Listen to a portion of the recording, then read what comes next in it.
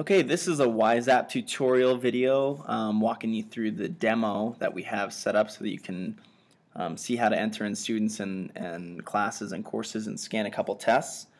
Um, before you begin the demo, you're going to need to make sure that you have printed off the WISE-App tutorial pages which are located in the store.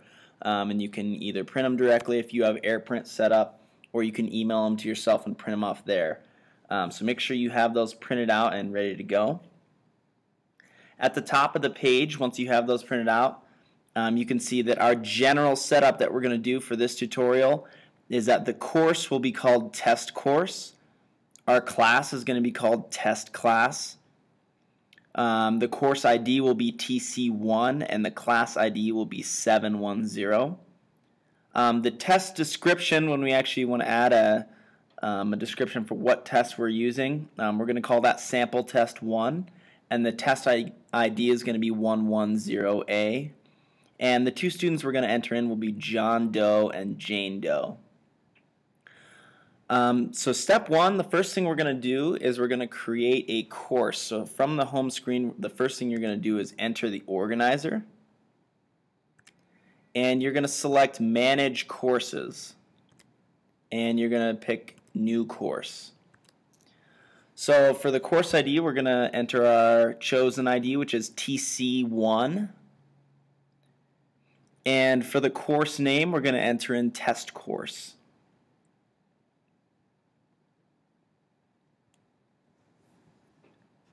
Um, you can go ahead and hit return down here, and then we'll click save.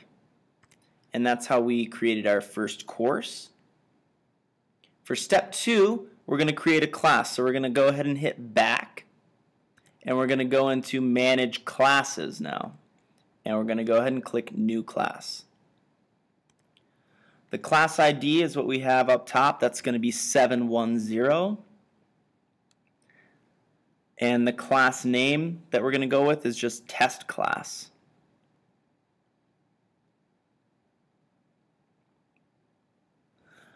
Um, then what we want to do next is go ahead and click right here where it says uncategorized. Um, and we're going to say that this class falls under our test course um, category. So we'll click that or move that and then go ahead and hit done.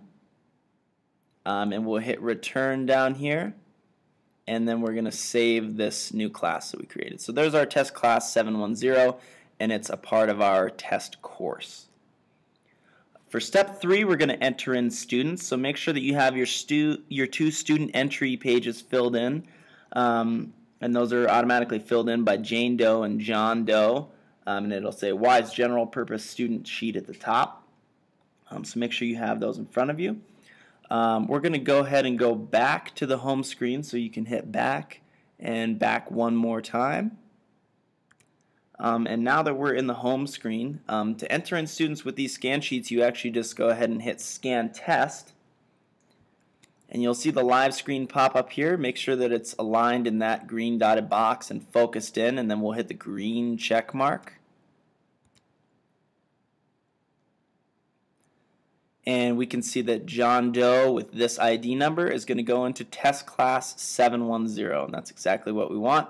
Um, if for some reason you get a bad scan or it didn't pick it up, you can hit the X here and delete the test and rescan it, but we're good with this, so we're going to go ahead and hit the green check mark. And we've got Jane's test here, make sure it focuses, and then we'll hit the green check mark again.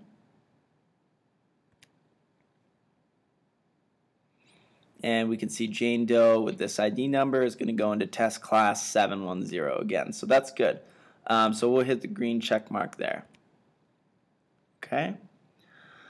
Um, the next thing we're going to do is actually scan in our key so that we can actually start scoring some tests. So to do that, we're going to go ahead and go back. So what you can see here is that we've got both of our students entered in. We've got our one class here, and we have zero tests scanned in. So from here, we're going to go into Scan Keys. Um, and we're going to do new scan key. So make sure you've got your key for the exam. It'll say key under the name. And notice that we have test ID 110A. That was what we had picked filled in there.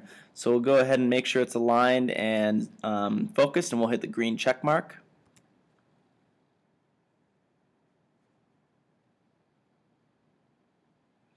And we've got test 110A here. Uh, we can see that we've got 75 results, zero ignored responses, which means that it accurately read all of the answers. Um, the first thing you want to do is go ahead and click here where it says it's uncategorized. And we're going to click that one more time here. And we're going to say that this falls under test course 1 also. And we'll hit done and save. And then under the description, what we had up, to, up at the top is we're just going to call this sample test 1. So this sort of just gives us a little bit more of an in-depth description about what it is instead of just looking at the test ID. So this is sample test 1 um, and it looks like everything's scanned in correctly here so we're just going to go ahead and hit the green check mark. So there's our key right there. Now we're ready to scan in a couple tests, so we're going to go ahead and click back, and we're in the home screen, and we're going to go back into scan test. So we've got our bubbled in student exams. They have the correct test ID bubbled in here and their ID number filled in here. So once it's focused in, we'll go ahead and hit the green check mark. And it's going to process that test. This is our largest exam form, the 100 question test. So we can see that John got a 96%. He missed three questions. Um, if for some reason you want to look at his test, you can do the preview and that'll show you the overall scan. Or you can go into the results and look at individual questions and you can scroll down um, and eventually see, um, you can see almost all the answers you got were right, but the first one that you missed was number 26 because he said C and the actual answer was E. Um, but if we're good with that, we're just going to go back up to the top and we're going to click the green check mark. And then now we'll scan Jane's test in. Again, she's got the correct test ID here and her own student ID bubbled in. And once it's focused, we'll hit the green check mark it's going to process her 100 question exam. And Jane got an 89.3. Um, again, if you wanted to look at her specific results, you could click on any of these.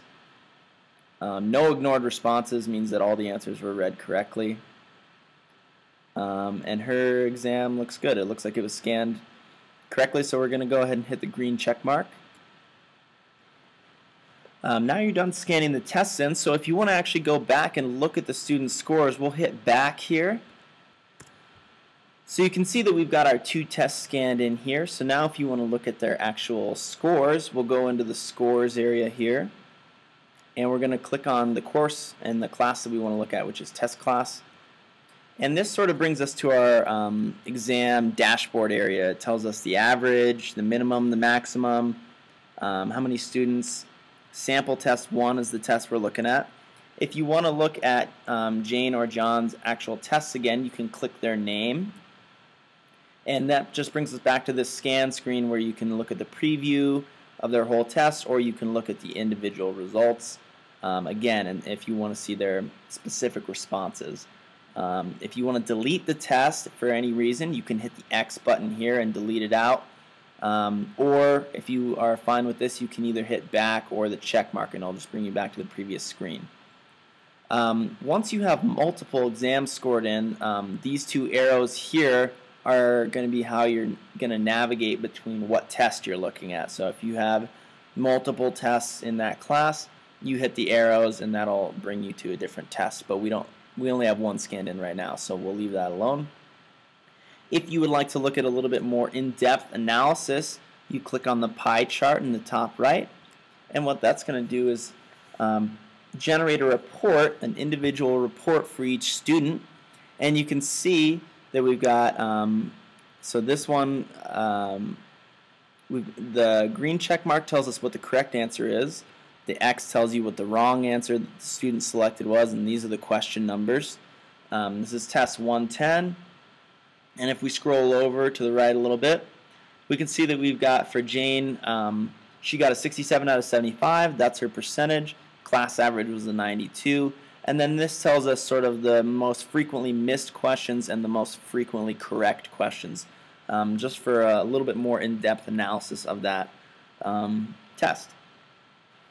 Um, at that point, um, that will complete the tutorial. It shows you how to enter in a course, a class, tells you how to enter students, scanning keys, and scanning tests, and examining the scores.